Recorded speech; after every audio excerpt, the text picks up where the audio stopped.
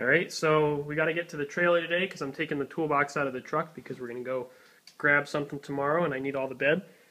So we're gonna I'm gonna try and get it out with the snowblower. The 19.9, I don't know about that, but we're gonna fire up the 19.9 here, or the 6, the 18, I mean, excuse me.